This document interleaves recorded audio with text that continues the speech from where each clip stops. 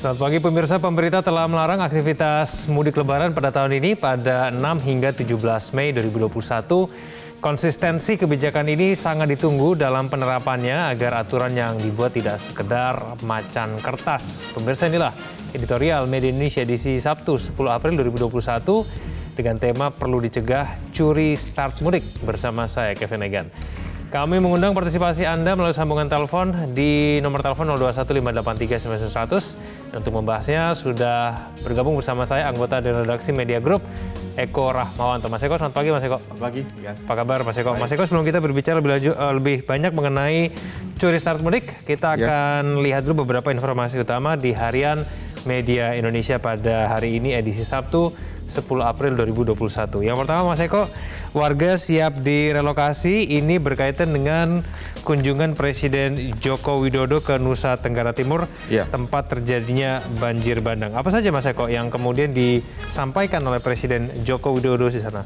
Ya, kira-kira ada tiga lah ya, relokasi warga, hmm. kemudian pencarian korban, dan kemudian uh, apa nama pemenuhan kebutuhan bagi para pengungsi. Yang paling penting menurut saya adalah relokasi warga ya, hmm. karena kan sangat uh, parah sekali kemarin yeah. uh, di Pulau Adonara di NTT di sana, hmm. yang meninggal juga banyak sekali, rumahnya pada hancur. Yeah. Jadi ini perlu segera direlokasi. PUPR segera harus segera mulai membangun rumah-rumah warga yang terdampak kemarin, karena ini sangat mengganggu sekali. Hmm. Jadi uh, kunjungan Presiden Jokowi ke sana memang sangat berdampak sekali, hmm. sekaligus memberikan semangat kepada warga di sana yeah. agar mereka cepat bangkit. Karena memang kita tahu kalau kita melihat di televisi ya uh, sangat uh, mengerikan sekali kemarin itu hmm. uh, apa namanya bencana yang ada di sana. Jadi saya kira ini langkah yang tepat bagi pemerintah di sana uh, dengan melokasi relokasi warga, kemudian hmm. mencari korban, kemudian uh, pemenuhan kebutuhan. Ini memang tiga hal yang harus segera dilakukan oleh pemerintah. Ya, tapi memang kalau kita bicara mengenai NTT, di sana infrastruktur di sana juga memang minim ya Mas ya. Sehingga kemudian mungkin memang agak menjadi kendala tersendiri ketika kemudian sedang dalam pemulihan pasca bencana uh, seperti saat ini begitu Mas Eko? Ya, kira-kira begitu. Ini kan uh, di Flores Timur kalau tidak salah ya. ya. Jadi memang uh, harus ada uh, apa namanya butuh waktu lah ya, butuh hmm. uh, uh, waktu juga untuk uh, datang ke sana memang uh, sekarang medanya sangat berat sekali ketika ya. uh, ada apa namanya kemarin ada banjir bandang ya yang hmm. uh, terjadi di sana. Jadi saya kira PUPR harus segera bergerak cepat ini ya. Oke, kita ke headline selanjutnya pemirsa. Ini berkaitan dengan uh, suami Ratu Elizabeth II, Pangeran Philip yang kemarin diumumkan wafat di usia yeah. 99 tahun di Kastil Windsor yeah. kemarin pagi, uh, Mas Eko. Betul. Uh, peran dari Pangeran Philip ini sebetulnya mungkin tidak bisa dikecilkan, Mas ya, Betul. dalam perkembangan kerajaan Inggris sekarang. Bagaimana, Mas Eko? Ya, kalau kita melihat ini omongannya Istana Buckingham ya, ya. kemudian yeah. uh, Ratu Elizabeth juga mengatakan demikian bahwa Pangeran Philip ini menjadi satu-satunya tokoh kunci yang dapat dipercaya dan di, waktu ada di uh, Istana Buckingham ya. Jadi hmm. tidak banyak tampil gitu kan, tidak banyak ngomong. Yeah. Jadi dia lebih banyak diam. Hmm. Memang dia sebagai uh, apa pangeran tapi uh, sebetulnya yang lebih banyak berkuasa kan sebetulnya Ratu Elizabeth II ya. Yeah. Jadi sebagai suami dia hanya mendukung dari belakang. Hmm. Jadi 99 tahun memang usia yang sangat sudah sangat tua, ya kan? Yeah. Uh, kemarin juga sempat sudah dirawat di rumah sakit karena ada masalah di penyakit ya, jantungnya. Hmm. Jadi tentu Inggris sangat berduka sekali dengan uh, dengan Pangeran Philip ini. Jadi ini sosok yang uh, menyejukkan ya, mendamaikan. Yeah dan dia tidak banyak ngomong sebetulnya kan. Ya, tidak banyak rumor uh, miring begitu ya Betul, yang ya. kemudian uh, terjadi antara Ratu Elizabeth II dengan Pangeran Philip ini. Ya. Kita ke halaman kedua, uh, Mas Eko, pencermatan kita juga pada hari ini ini berkaitan dengan uh, Kemendikbud yang rencananya akan dilebur Leburkan, bersama ya. dengan Kemendikbud ya. Iya betul. Uh, Mas Eko, Menteri Kemendikbud sekarang Bambang Brojonegoro sudah menyatakan pamit sebagai Betul. Menristek. Bagaimana Mas? Ya, ini ada pro kontra ya, tapi ini kan sudah direstui, sudah diketok palu di DPR. Artinya hmm. memang nanti pasti ada peluburan antara Kementerian Pendidikan dan Kemenristek. Hmm. Banyak yang menyesalkan, tapi juga banyak yang juga yang mendukung. Hmm. Nah, saya kira saya lebih uh, menyoroti soal risteknya ya. Jadi perlu nanti ketika dilebur, saya kira Kemendikbud harus mulai tune in ya. Hmm. Ini kan uh, terkait dengan mengurus riset ini kan tidak mudah. Yeah. Jadi harus ada uh, mulai lagi dari awal hmm. kalau menurut saya karena kan kalau Kementerian Pendidikan itu urusannya banyak ya.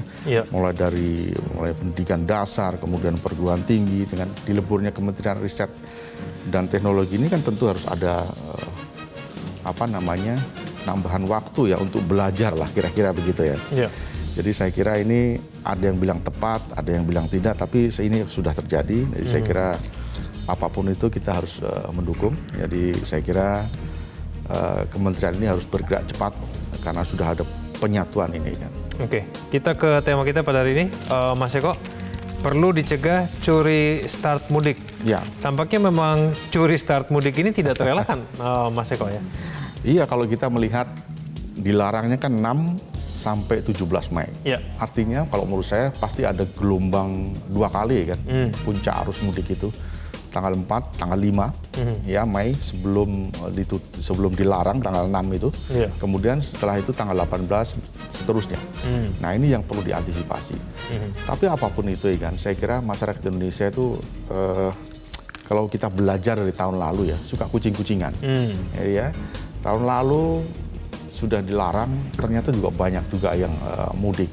Yeah. Memakai sepeda motor, jalan kucing itu kan banyak. Kemudian yeah. travel juga sudah mulai uh, di di hari-hari yang mendekati juga sudah banyak. Bahkan ketika lewat lewat hari H juga sudah banyak. Hmm. Kemudian juga banyak yang mengelabuhi, yang memakai brak terbuka, mengangkut uh, barang, mengangkut sepeda motor. Ternyata di dalam banyak orang. Yeah, yeah. Itu banyak yang terjadi di uh, luar hmm. di tahun lalu. Hmm. Jadi saya kira aparat keamanan untuk tahun ini memang ada sekitar 333 titik kan yang hmm. akan dipantau oleh aparat kepolisian. Tapi jangan pula lengah, kemudian uh, nanti banyak yang juga diloloskan. Ya. Tapi soalnya ini urusannya adalah nyawa kan. Hmm. Kalau tahun lalu itu sekitar 68 sampai 93 persen. Ya, itu kenaikan perharinya ketika yeah. libur uh, Idul Fitri. Itu kenaikannya sekitar 400 sampai 600 orang per hari. Mm -hmm. Nah, kemudian ketika libur Agustus kemarin 17 Agustus, nah ini lebih gila lagi tuh ya kan. Mm. Itu sekitar 119 persen. Artinya 1100 per hari. Nah, ini urusannya kan nyawa nih kan. Yeah. Jadi semua orang harus memahami itu bahwa pandemi ini belum berakhir. Mm. Jadi alangkah baiknya ketika pemerintah sudah meminta ya kepada warganya untuk tidak mudik ya dipatuhi saja. Hmm. Ini kan uh, persoalannya kan bukan persoalan kecil. Ketika uh, ramai-ramai mudik ke daerahnya masing-masing kemudian menjadi klaster baru, hmm. penambahan COVID yang semakin banyak lagi, yeah. ini tentu kan membuat kita capek semua. Kalau kita lihat kemarin kan uh, dalam 10 minggu terakhir hmm. angkanya kan menurun ya kan. Nah ini kan uh, hal yang bagus sebetulnya. Yeah. Jangan sampai hal yang bagus ini kemudian kita membuat uh, masalah lagi, mm-hmm. ya, mudik uh, rame-rame lagi, mm-hmm. ya kan. Uh, kemudian ada klaster baru. Mm-hmm. Tapi yang menjadi permasalahan sebetulnya begini, ketika mudik ini diperboleh, tidak diperbolehkan, ya. Mm-hmm. Tapi wisata uh, diperbolehkan nih kan. Hmm. Artinya kan ini uh, tidak tuntas menurut saya. Yeah. Ya kan? Jadi pergerakan antar uh, daerah itu antar daerah memang tidak ada ya. Hmm. Nanti bis, uh, kereta api dan lain-lain pasti akan ada pelarangan. Kemudian travel juga. Yeah. Dan pergerakan antar uh, kota di satu provinsi itu kan boleh itu nanti. Yeah. Ketika saya misalkan saya rumah saya di Surabaya ya, mm -hmm. uh, wisata di daerah Surabaya kan boleh itu. Mm. Nah itu timbul kerumunan di sana. Nah yeah. ini yang perlu diantisipasi. Mm. Wisata boleh, yeah mudik tidak boleh. Ya. Nah itu tentu akan menimbulkan uh, permasalahan baru jika tidak ada protokol kesehatan yang ketat. Jadi kesannya kayak setengah-setengah begitu ya, uh, Mas Eko ya. Uh, perjalanannya dilarang, tapi seperti tidak mau melewatkan potensi ekonomi gitu, keuntungan dari uh, sektor pariwisata. Ya, gitu, kita Eko, ya. bisa memahami bahwa sebetulnya persoalan kesehatan ya dan persoalan ekonomi kan memang sekarang berbarengan ya. Mm -hmm. Tidak bisa dipisah-pisahkan karena ini uh, tentu akan berat bagi pemerintah. Tapi memang harus ada uh, strategi yang jitu lah menurut saya. Kalau mudik tidak boleh, wisata boleh. Hmm. Tentu wisata ini juga harus di-create ya sedemikian rupa, jangan yeah. sampai kemudian protokol kesehatan menjadi lengah. Hmm. Kalau gitu lengah, pasti akan timbul kerumunan dan lain-lain. Kemudian nanti kembali ke daerahnya masing-masing, ya, kembali ke rumahnya masing-masing ketika di tracking nanti timbul uh, persoalan baru bisa kena COVID dan lain-lain pasti akan melonjak lagi. Ya. Jadi tentu usaha pemerintah yang selama kita harus apresiasi ya, hmm. dalam 10 minggu terakhir ini mundur lagi nanti. Mundur lagi. Hmm memang betul sudah ada vaksinnya, tapi kan vaksinnya belum seberapa ya kan. Yeah. Paling baru 10 persen lah, belum sampai. Mm-hmm. Nah ini kan uh, apa namanya ditargetkan baru tahun depan. Nah saya kira kita harus me- mengedukasi warga mungkin tahun depan lah, yang yang paling ideal untuk pulang kampung mm-hmm. uh, di saat Idul Fitri, ketika vaksin sudah mulai diberikan yeah. sampai bulan April atau Mei tahun depan ya. Jadi sudah pada udah imun yang uh, lebih lah ya, mm-hmm. imunitinya sudah mulai timbul. Nah itu saya kira realistis jika tahun depan uh, sudah mulai dibuka. Jadi tahun ini disabar-sabar dulu lah ya. untuk kita tunggu di rumah Idul Fitri di rumah saja. Baik, Mas Eko kita akan ikut dulu paket informasi berikut ya. ini. Pemirsa inilah editorial Media Indonesia perlu dicegah curi start mudik.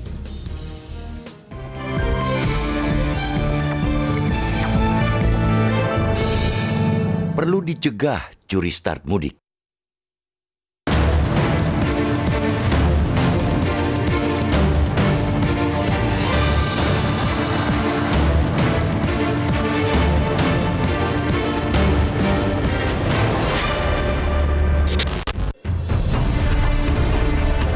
Pemerintah telah melarang aktivitas mudik lebaran 2021 pada 6 sampai 17 Mei 2021. Konsistensi kebijakan itu sangat ditunggu dalam penerapannya agar aturan yang dibuat tidak sekadar macan kertas. Kebijakan disebut macan kertas apabila ketat dan keras sebagai teks regulasi tetapi lemah lunglai dalam aplikasinya di lapangan pemerintah yang berniat untuk bersungguh-sungguh menerapkan aturan larangan mudik patut diapresiasi. Kementerian Perhubungan telah menerbitkan Peraturan Menteri Perhubungan Nomor 13 Tahun 2021 tentang pengendalian transportasi selama masa Idul Fitri 1442 Hijriah tahun 2021 dalam rangka pencegahan penyebaran COVID-19. Ketentuan yang diatur dari pengendalian transportasi meliputi hal-hal yang dilarang, pengecualian-pengecualian, pengawasan, dan sanksi terhadap semua moda transportasi, yaitu darat, laut, udara, dan perkereta apian mulai 6 hingga 17 Mei. Ada dua tantangan yang dihadapi pemerintah. Pertama, animo masyarakat untuk mudik masih tinggi meski sudah dilarang. Survei Kemenhub pada Maret menunjukkan ada 11 persen responden atau sekitar 27,6 juta orang yang memilih tetap mudik meskipun ada pelarangan mudik. Jika tidak dilarang, ada 81 juta orang yang akan mudik. Kedua, pemerintah mesti mengantisipasi lonjakan pemudik sebelum masa pelarangan. Diprediksikan akan ada sebagian masyarakat yang mudik sebelum masa pelarangan mudik dimulai. Mereka akan melakukan perjalanan mudik sekitar 26 April hingga 5 Mei 2021. Terhadap mereka yang tetap ngotot mudik, meski ada pelarangan mudik perlu diambil tindakan tegas. Pada titik inilah ditunggu konsistensi pemerintah. Pemerintah perlu mempertimbangkan untuk menghentikan tanpa ada pengecualian seluruh operasional angkutan umum antar kota, antar provinsi, selama masa pelarangan mudik. Sementara terhadap mereka yang mudik sebelum masa pelarangan mudik diberlakukan, perlu dilakukan advokasi. Kiranya pemerintah mengimbau masyarakat untuk tidak curi start mudik demi keselamatan bersama. Masyarakat harus menyadari bahwa pergerakan manusia yang masif selalu berkorelasi dengan ledakan angka penularan COVID-19. Pergerakan manusia yang masif tidak hanya terkait mudik. Selama masa liburan lebaran, ada kecenderungan masyarakat untuk beramai-ramai mendatangi tempat-tempat wisata. Eloknya, tempat-tempat wisata juga ditutup untuk menghindari terjadinya kerumunan manusia. Semua pihak, termasuk pengusaha angkutan, kuliner, dan wisata, mesti legowo menerima kebijakan pelarangan mudik demi kemaslahatan bersama. Kita tentu tidak mau angka penularan COVID-19 yang semakin melandai dalam beberapa bulan terakhir ini kembali melonjak seperti halnya di negara-negara lain. Kita memang belum tahu sampai kapan pandemi COVID-19 berakhir. Namun, satu hal yang pasti, kita mesti bersatu. Virus corona bukan semata musuh bagi petugas kesehatan, ia musuh kita bersama. Penularan virus ini harus ditekan dan itu membutuhkan pengujian yang agresif serta pelacakan kontak dan dikombinasikan dengan tindakan untuk membatasi pergerakan dan kontak. Langkah-langkah seperti ini, terlepas dari pro kontra yang ditimbulkannya, harus dipertahankan sampai herd immunity melalui program vaksinasi tercapai. Mencegah penularan virus corona membutuhkan pengorbanan seluruh masyarakat. Pengorbanan itu antara lain mengurungkan hasrat pulang kampung dan berwisata. Pengorbanan masyarakat harus diimbangi dengan konsistensi pemerintah untuk menerapkan aturan larangan mudik. Bila perlu, aparat menutup semua jalan tikus yang akan dilalui masyarakat yang menyiasati larangan mudik, termasuk mencegah mereka yang curi start mudik.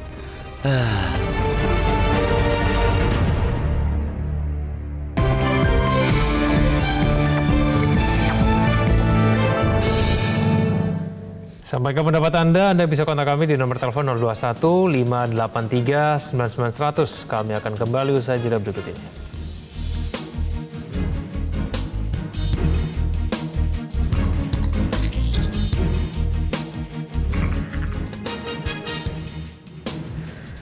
Terima kasih Anda masih bersama kami di editorial Media Indonesia. Uh, Mas Eko kembali berbicara mengenai curi start mudik ini.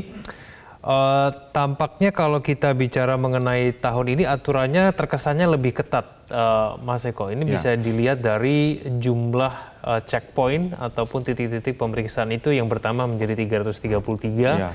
dan kemudian ada larangan tegas begitu untuk seluruh moda transportasi akan larang beroperasi ya. dengan ada beberapa pengecualian begitu. Betul.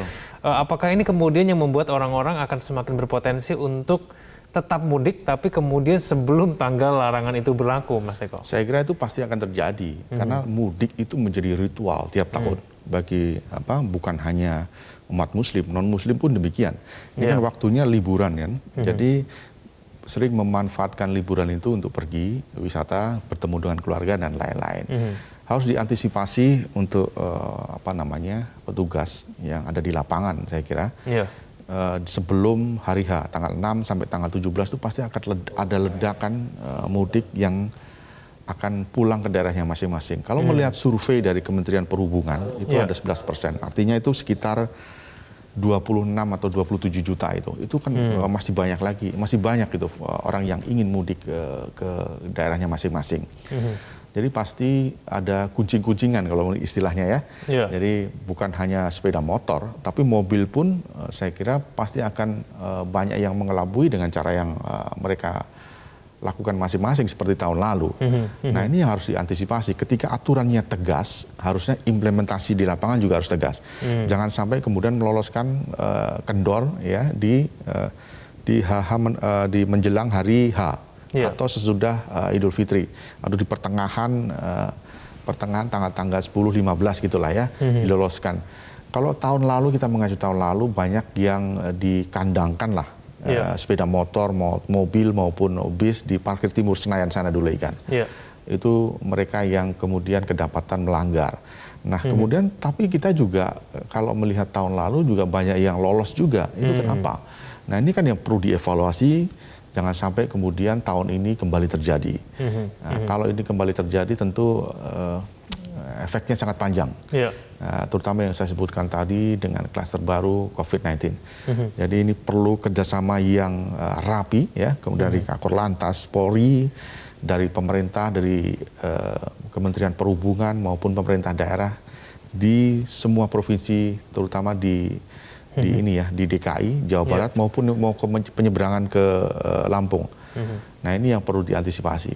Jangan sampai kemudian uh, aturan yang sudah benar ini ya sudah di sudah diketok palu, kemudian yeah. uh, bobol karena uh, aparat tidak sigap. Mhm. Iya, dorongan untuk mudik mungkin tahun ini juga terasa lebih besar ya, Mas Eko. Karena mungkin buat orang-orang yang mau mudik pada tahun ini meskipun ada yeah. larangan, karena Mungkin karena mereka berpikir tahun lalu udah nggak mudik gitu, masa betul, tahun betul. ini nggak mudik lagi.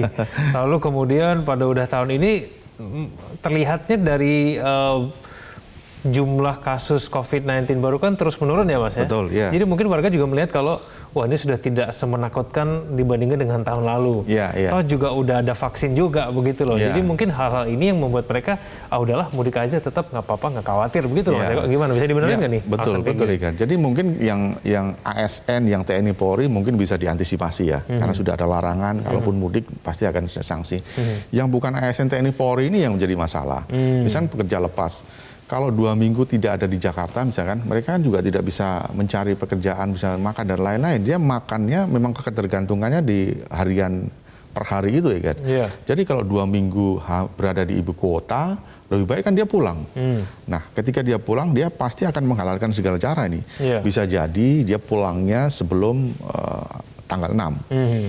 Tentu itu ada penumpukan dan lain-lain sebenarnya. Tapi juga bisa jadi ketika proyeknya selesai, tanggal mepet di hari Idul Fitri, dia pasti juga akan pulang. Nah, Iya. ketika dia pulang ini kan harus diantisipasi. Hmm. Banyak cara sebetulnya bagi eh, apa namanya warga untuk pulang ke daerahnya masing-masing. Pinter lah kalau warga di Indonesia itu untuk mengelabuhi, untuk melanggar aturan tuh eh, jagonya. Iya. Nah ini harus di- diantisipasi jangan sampai kemudian eh, banyak yang lolos dan Hmm. merepotkan pemerintah daerah di masing-masing tempat tujuan ini kan. Iya, antisipasinya bentuknya seperti apa ya Mas ya kalau kita bicara eh, sebelum tanggal 6 itu karena kalau ternyata nanti 27,6 juta orang yang memilih tetap mudik meskipun Ya. ada larangan ini akan melakukan aktivitasnya aktivitas mudiknya sebelum tanggal 6. Ya. Bukankah tujuan untuk mencegah penyebaran COVID-19 itu juga nantinya tidak akan tercapai Mas Eko? Iya betul. Jadi kan sebetulnya sudah ada aturannya ya. Eh, hanya orang-orang tertentu yang eh, sudah ditentukan ya misalkan menjenguk orang sakit atau meninggal karena perjalanan dinas atau mau melahirkan dan lainnya itu diperbolehkan untuk melewat, untuk jalan. Tapi di luar itu kan tidak boleh. Sebenarnya aturan itu kan sudah benar sudah baku, sudah tegas. Iya. Nah, jadi aparat yang di lapangan pun harusnya demikian rupa. Eh, jangan sampai kemudian meloloskan orang-orang yang dianggap tidak memiliki kepentingan di sana. Hmm. Nah, kalau sudah ada aturan yang tegas itu, saya kira tentu eh, banyak orang yang akan pulang mudik akan putar haluan. Iya. Nah, ini kan di darat, kemudian di laut. Saya kira harus ada penyekatan-penyekatan yang lebih eh, konkret ya, ya, termasuk di jalan-jalan tikus itu untuk menuju pelabuhan. Kalau di pelab- eh, di bandar udara, ya saya kira pasti akan lebih ketat Ya. karena di sana uh, lebih terkonsentrasi kan di bandar udara. Jadi menurut saya yang paling berat adalah di eh, di darat ya, terutama di di uh, travel ya bus ataupun di uh, kendaraan motor. Kalau kereta api saya kira juga mungkin masih bisa diantisipasi. Yang paling penting itu menurut saya di darat. Baik, Mas Eko kita jeda kembali pemirsa jangan ke mana-mana kami akan kembali usai yang satu ini.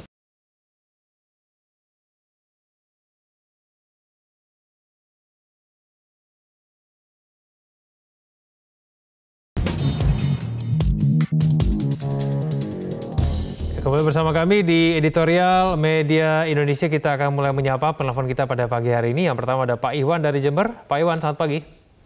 Selamat pagi, eh, Bang Bang Gavin dan Bang Eko. Ya, Begini, bahwa masalah mudik ini berkaitan dengan persoa- persoalan eh, agama, budaya, dan moralitas. Oleh sebab itu, ini masalah peka. Tetapi masyarakat harus sadar bahwa situasi COVID- eh, COVID-19 ini belum selesai. Bahkan bukti bahwa eh, adanya kebebasan mereka ini menyebabkan timbulnya kenaikan penularan COVID COVID-19.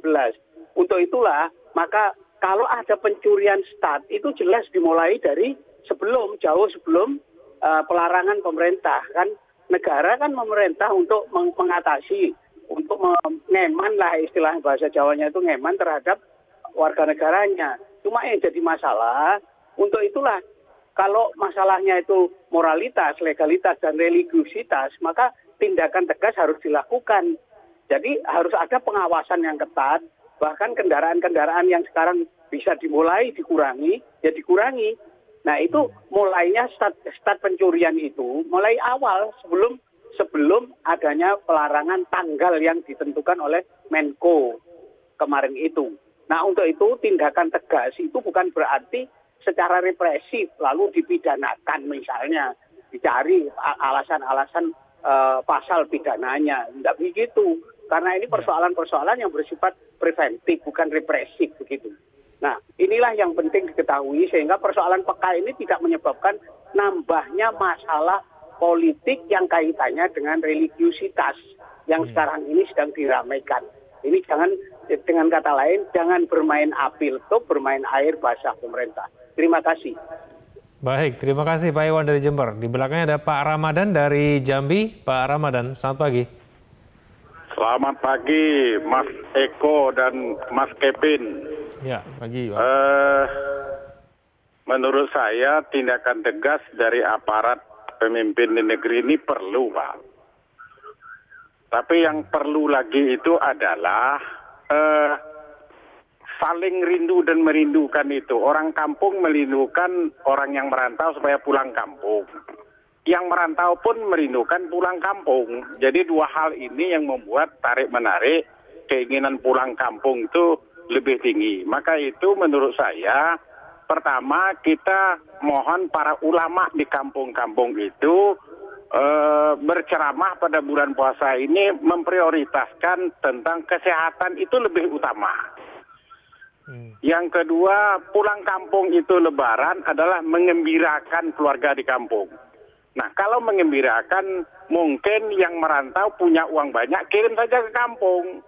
Kalau dikirim uangnya ke kampung, orang kampungnya, sanak keluarganya bisa bergembira dan bisa menikmati lebaran secara baik. Yang merantau, ya bersabar untuk pulang kampung. Tahun depan insya Allah kita pulang kampung. Untuk melepas kerinduan itu, sekarang kan kita punya teknologi bisa video call dengan orang kampung, bisa melihat keluarga di kampung, maka kerinduan untuk sementara lepaskan saja lewat video call dan uang yang Anda dapatkan di rantau itu pulang, dikirim pulang ke kampung, orang kampung tentu berharap uangnya pulang, orangnya biar tidak pulang. Tarik-menarik ini bisa dicegah oleh yang pulang kampung, yang menerima di kampung. Begitu Mas Egan.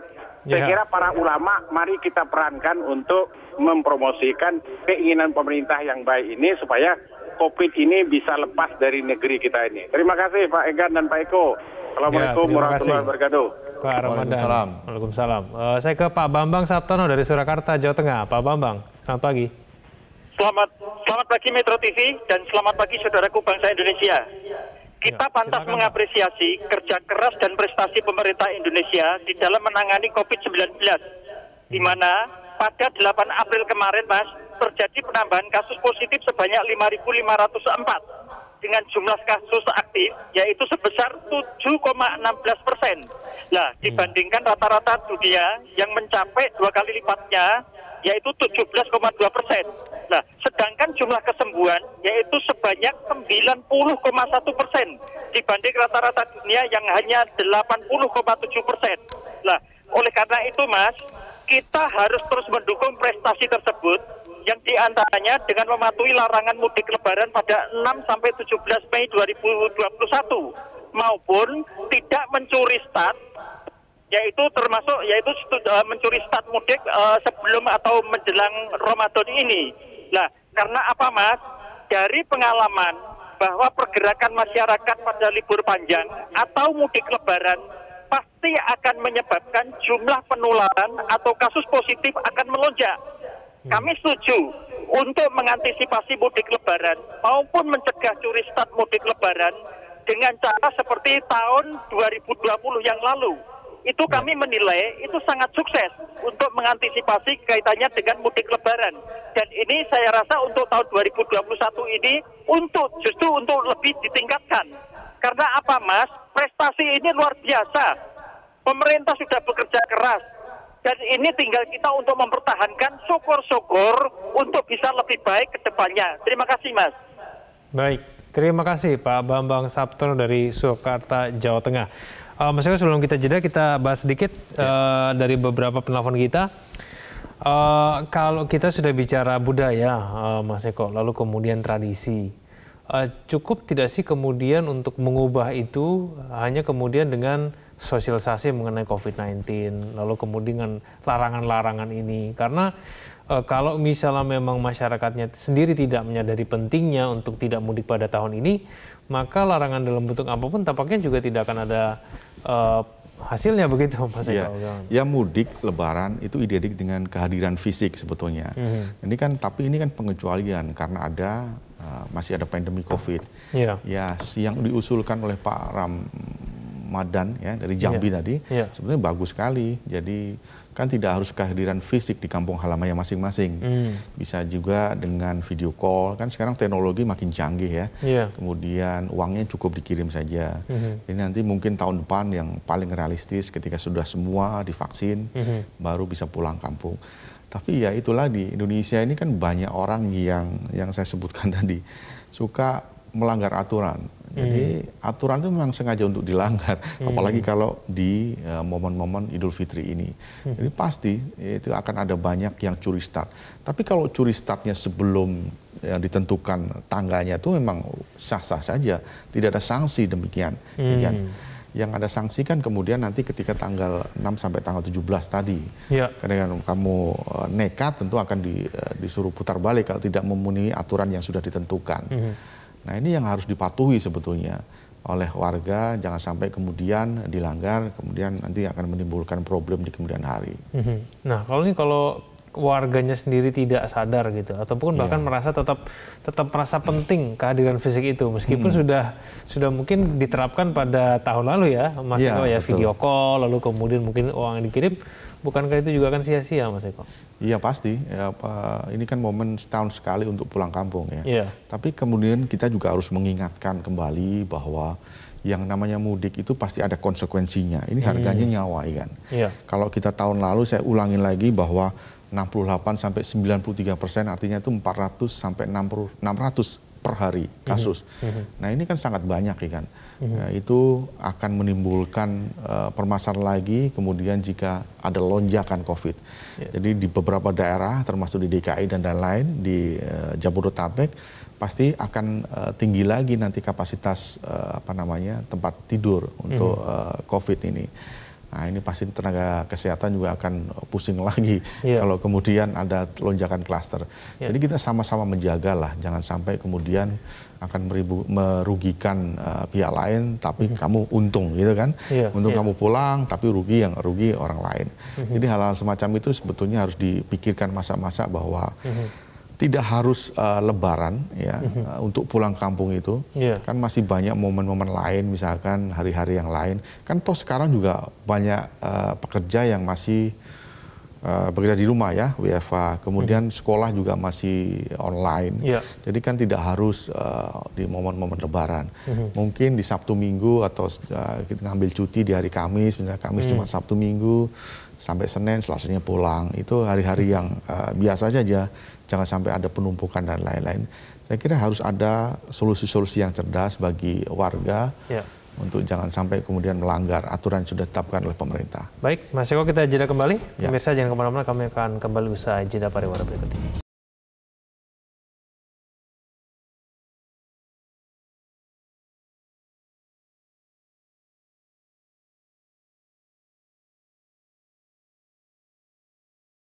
Ya, kembali bersama kami di editorial Media Indonesia. Pemirsa, ah, Mas Eko mungkin kita terlalu fokus pada antisipasi sebelum masa larangan mudik itu berlaku ya. Tapi kalau kita berbicara di tanggal 6 sampai 17 itu sebetulnya banyak orang juga yang merasa tidak khawatir, Mas Eko. Mereka masih yakin pada saat 6 hingga 17 nanti mereka bisa tetap mudik begitu ya dengan berbagai cara begitu.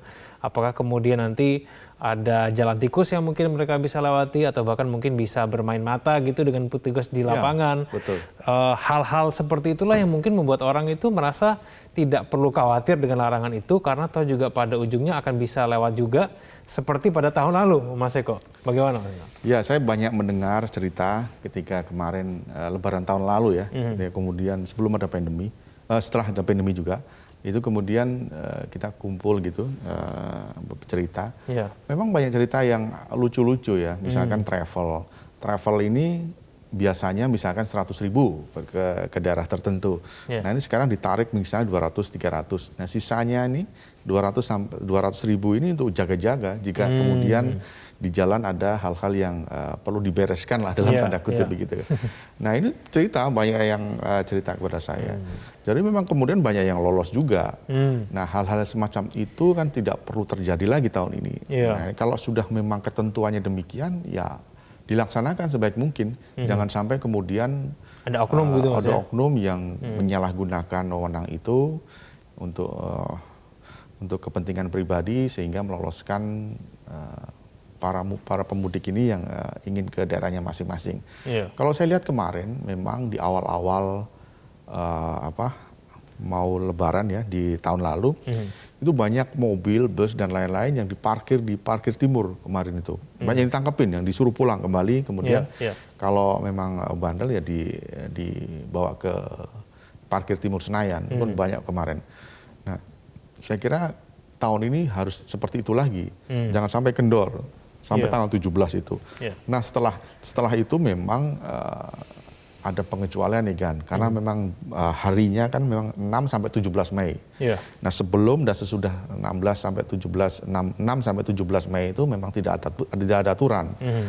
Nah ini yang perlu diantisipasi betul oleh aparat, jangan sampai kemudian 6 sampai 17 Mei sepi, hmm. tapi sebelum itu rame, tanggal 18 ke atas juga rame. Nah sama hmm. saja ini sama saja kemudian uh, nggak ada gunanya untuk pelarangan. Ya, kalau, uh, kalau kita cermati tren yang terjadi beberapa hari ini juga agak sedikit meningkat, Mas ya. Mm-hmm. Banyak juga yang berkata ini jangan-jangan karena libur panjang wafatnya Isa Al-Masih pada minggu lalu begitu. Ya. Sudah mulai terlihat begitu. Oh iya. Uh, apakah ini artinya bahwa sebetulnya uh, tidak mungkin kita bisa mengharapkan protokol kesehatan yang ketat karena libur panjang faktanya selalu membuahkan lonjakan kasus COVID-19 yang baru. Bagaimana Mas? Ya betul. Kemarin ketika kita lihat liburnya itu kan Jumat, Sabtu, Minggu ya. Ya. Nah ini lonjakannya luar biasa sekali meskipun libur liburnya cuma Jumat, Sabtu, Minggu. Hari kurang betul. Ya. Jadi Kamis malam jalan, hmm. kemudian Minggu dini hari atau Minggu malam pulang. Hmm. Ini kan di daerah uh, Cipali sampai kemudian uh, Jawa Tengah, Jawa Timur itu kan padat sekali. Ke iya. Puncak yeah. juga padat sekali. Jadi itu kan uh, cuma libur sehari aja kepadatannya seperti itu. Hmm. Apalagi ini Idul Fitri yang biasanya puluhan juta yang akan pulang. Yeah. Jadi ini perlu diantisipasi betul menurut saya. uh, kalau uh, kita ini kan sekarang warga Indonesia kan rindu benar dengan yang namanya wisata ya. Yeah. Karena sudah hampir setahun lebih kita tidak uh, bisa libur dengan leluasa. Mm -hmm. Nah ini mm -hmm. sekarang ketika ada liburan panjang pasti pikiran mereka berbondong-bondong untuk pulang untuk wisata. Yeah. Nah, ini yang perlu dipikirkan betul, jangan sampai kemudian uh, timbul masalah baru. Mudik dilarang, wisata Tetap on. Buka. Ah, ini, hmm. ini ini ini membuat kita yeah. uh, bertanya-tanya ini aturannya nggak tuntas menurut saya. Hmm. Mungkin juga peran pemerintah daerah, mas ya harus lebih berperan paling tidak dalam masa antisipasi itu, mas, karena Uh, kalau bicara tahun lalu kan ada beberapa daerah yang menerapkan lockdown begitu ya. ya. Mereka bahkan menyiapkan tempat-tempat tertentu gitu khusus untuk orang yang datang dari uh, luar daerah mereka begitu. Hmm. Nah, apakah tahun ini mungkin juga harus seperti itu, Mas? Karena hingga sampai saat ini saya belum mendengar adanya pemerintah daerah yang uh, merespon dan sejalan dengan larangan mudik dari 6 hingga 17 Mei 2021 ini, Mas. Ya, itu kan sebetulnya Eh, tergantung pemerintah daerah masing-masing. Kalau mereka menerapkan dengan aturan yang benar, hmm. saya kira bisa dilaksanakan. Hmm. Tapi kan kadang-kadang aturan itu dilaksanakan cuma sehari, dua hari, tiga hari, begitu kan. Hmm. Kemudian empat hari ke sana kendor. Okay. Nah, sama aja itu sebetulnya. Jadi harusnya sebetulnya konsisten. Hmm. Kalau kita melihat Singapura, mereka, kita, ya, sekarang orang mau pergi ke Singapura berpikir dua kali mungkin hmm. karena memang karantina 14 hari kalau karantina ya karantina betulan itu hmm. nggak ada yang namanya kemudian diloloskan membayar dan lain-lain yeah. kemudian mm, tiket juga dinaikkan ketika dia terkena covid misalkan uh, dia harus membayar sendiri, hmm. uh, tidak bisa uh, pemerintah ikut campur di sana. Yeah. Nah, larangan-larangan yang ketat seperti ini sebetulnya bisa dilakukan di Indonesia hmm. Hmm. kalau kemudian uh, aparat dan pemerintah konsisten dengan itu. Hmm. Jangan kemudian ketika saya juga banyak cerita, ya kan, yeah. di teman-teman saya kemudian pulang dari luar negeri harusnya karantina 14 hari, ternyata tidak tidak karantina ketika di Bandara Suta hmm. terjadi berbagai macam alasan yang kemudian tidak bisa tidak ada tidak karantina ya kan. Okay. Jadi pulang. Ah, ini hal-hal semacam ini kan uh, pernah terjadi dan sering terjadi. Hmm. Ini harus harus harus dievaluasi. Ya. Jangan sampai kemudian aturan itu dilanggar sendiri oleh aparat yang uh, menjaganya. Ya, tampaknya tapi agak susah ya Mas mengawasi oknum-oknum yang mungkin bertugas untuk memastikan bahwa aturan ini betul-betul ditegakkan begitu. Karena kan aturannya semakin ketat, yang mau mudik juga tetap banyak begitu hmm. uh, mengawasi kemudian tidak terjadinya adanya transaksi begitu ya bisa kita katakan itu kan juga susah ya Mas Eko bagaimana? Ya susah sebetulnya tapi bisa jadi uh, mudah kalau kita melakukan investigasi sebetulnya. Hmm. Nah tugas jurnalistik tugas uh, televisi uh, Metro mungkin bisa melakukan investigasi di sana. Okay. Betul nggak kalau memang aturan ini banyak yang dilanggar? Misalnya kemarin ketika ada aturan harus karantina masuk ke Indonesia, betul hmm. nggak hmm. benar-benar ada karantina? Hmm. Ada nggak oknum uh, di Bandara Soekarno-Hatta itu yang bermain untuk meloloskan? Okay. Uh, kemudian ketika mudik nanti bisa juga melakukan investigasi. Betul nggak semua orang dipulangkan ketika tidak di me, apa, memiliki uh, apa namanya SKM ya? Ya SIKM ya. SIKM. Nah, bisa dengan mereka ada yang diloloskan itu kan hmm. perlu investigasi hmm. dilaporkan kalau itu perlu dilaporkan tentu semua orang akan melihat membaca ya, kemudian tentu akan akan ada evaluasi dari pemerintah Baik, kita akan tunggu nanti Mas. Semoga kemudian uh, aturan ini betul-betul diterapkan dan ya. ada antisipasi yang dilakukan untuk mencegah orang-orang mudik sebelum tanggal 6 betul, hingga betul. 17 Mei 2021. Terima kasih Mas Eko telah bersama Sama-sama. kami pada pagi hari ini. Selamat pagi Mas Eko. Pagi. Pemirsa mencegah penularan virus corona membutuhkan pengorbanan seluruh masyarakat. Pengorbanan itu antara lain mengurungkan hasrat pulang kampung dan berwisata. Pengorbanan masyarakat harus diimbangi dengan konsistensi pemerintah untuk menerapkan aturan larangan mudik bila perlu aparat menutup semua jalan tikus yang akan dilalui masyarakat yang menyiasati larangan mudik termasuk mencegah mereka yang curi start mudik. Terima kasih Anda telah menyaksikan editorial Media Indonesia. Selamat pagi.